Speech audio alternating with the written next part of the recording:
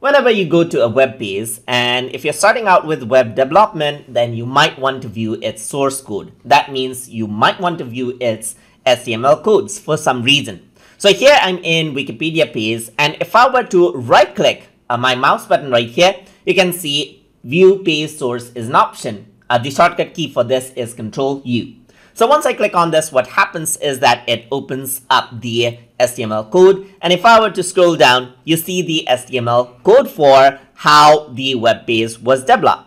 Similarly, I can go over here and type in, let's say, for example, computer, and I'm going to go around. And if I want to see the HTML code for this one, then I can right click and then I can go to view page source or I can press Ctrl U on my keyboard and it opens up the source code in new page as you can see. And this makes it easy for you to analyze web pages, especially if you're a developer, uh, you, uh, you, you, you can know how certain web pages are coded and how the layout is managed.